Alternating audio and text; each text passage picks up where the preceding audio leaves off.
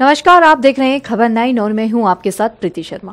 Indore DIG Mishra एक कुशल police अधिकारी तो है ही। साथ ही साथ ये समाज सेवा में भी दिलचस्पी रखते हैं। ग्वालियर में जब मिश्र जी पदस्थित थे तब वहाँ की ट्रैफ़िक व्यवस्था इतनी चुस्त दुरुस्त और व्यवस्थित कर दी थी कि इसके परिणाम स्वरूप इनका नाम Limca book of world record में दर्ज किया गया। लिम्का बुक ऑफ़ रिकॉर्ड है जो कि भारत के विभिन्न क्षेत्रों में किए जाने वाले कई कार्यों को दर्ज करती है। उसमें महत्वपूर्ण रूप से जब पिछले दोनों हम लोग ग्वालियर में थे तो ग्वालियर में एक ट्रैफ़िक से जुड़े मुद्दों को लेकर के एक एक चेतना अभियान उसको कह सकते हैं। उसमें लगभग एक लाख से ज़्यादा लोगों को एक बार में पुलिस ने जागरूकता अभियान के द्वारा शपथ दिलाई थी कि वो ट्रैफ़िक नियमों के संबंध में कुछ नियमों का पालन करें। और उसको लेकर के जब लिमका बुक के संज्ञान में आया तो उन्होंने इसे चिन्हित किया और इसको एक नए तरीके से पहचान करते हुए इसमें वो अपने जो नए साल के 2017 के जो रिकॉर्ड्स हैं, उसमें उन्होंने सम्मिलित किया है। इसमें ग्वालियर पुलिस के साथ साथ चूँकि मैं उस समय वहाँ पे पुलिस अधीक्षक था, इसलिए उसमें पूरी घटना को उन्होंने एक महत्वपूर्ण उपलब्धि के रूप में अपने रिकॉर्ड्स में डाला है। जी हाँ।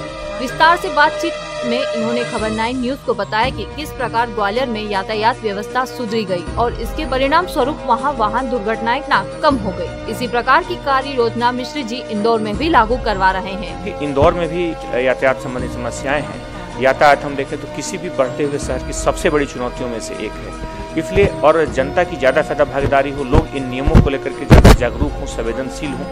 तब जा कर के इस पूरे ट्रैफ़िक नियमों को हम बेहतर ढंग से और सबसे जो बेस्ट तरीका हो सकता है, सर्व, सर्वश्रेष्ठ तरीके से उनका रिज़ल्ट हम प्राप्त कर सकते हैं उसका पालन करा सकते हैं।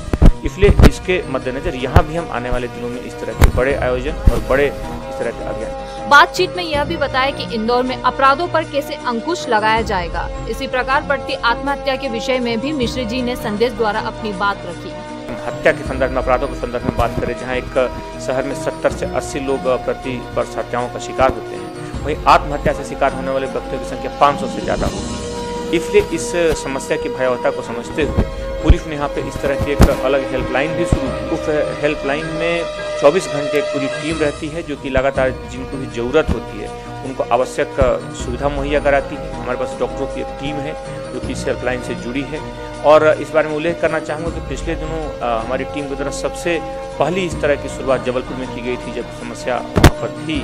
और उसके द्वारा जबलपुर उस समय काफ़ी पूरे भारत में कई वर्षों से सबसे ज़्यादा इस तरह के आंकड़ों में था, लेकिन इसके आने के बाद काफ़ी अंतर आया और अभी वो पाँचवें छठे स्थान पर अभी फ़िलहाल है।